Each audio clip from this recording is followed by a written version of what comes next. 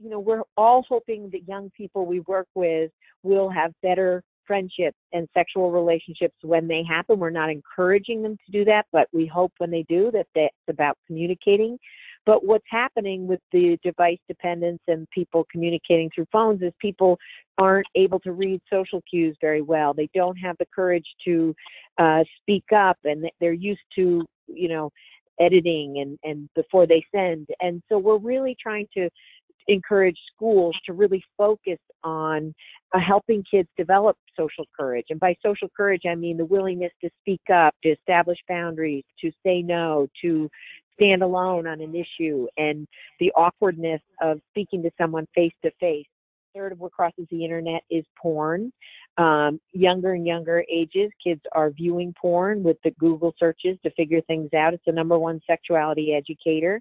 Among boys in the U.S., a common age of first exposure is nine years old. All genders are consuming porn, um, but what I'm most concerned about is skewed expectations about how bodies appear and how they respond, and they also reinforce a lot of uh, pressure on you know genital image and uh, pressure on uh, and around what female pleasure looks like. Female pleasure is more complicated than others, and it it is something that's completely uh, mis mis porn is misinforming consumers about female pleasure.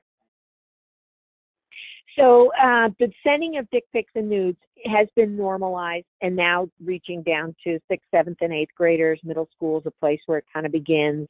And we often don't speak to middle school students or high school students because we're like, well, you know, it's it's too much to say. But we need to address that.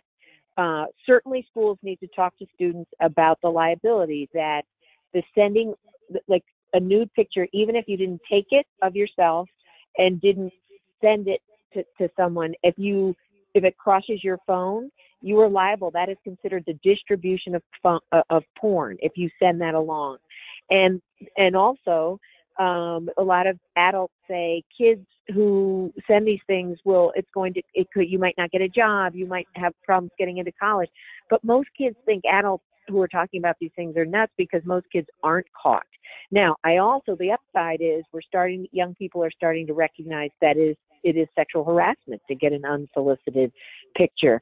And all genders talk about receiving these, but I would say I hear much, much more about unsolicited dick pics being sent to those who identify as female, who feel um, not happy about it, but if they resist and speak up, then they're considered a bitch, they're considered too uptight, they're considered a prude. So there is this pressure to comply and put up with it. Um, and it is the way people are sending these pictures in hopes of when I ask people, well, you know, why are you sending? Hoping to hook up, hoping that it converts. And people talk about hookup culture. They just, you know, we all know whether you're you're in a day school, a boarding school, a public, private. Hookup culture is part of the scene, and and the banter around it makes it seem like everyone's doing it. It makes a lot of people anxious that they're unattractive or people aren't interested in them. But in fact, uh, much fewer kids are are actually hooking up. Like in college, even one study says 33% are not even participating. What troubles me is the 48% in that study uh, by Lisa Wade and her students at Occidental that 48% are indifferent, and that is consistent with what I hear in high school and college.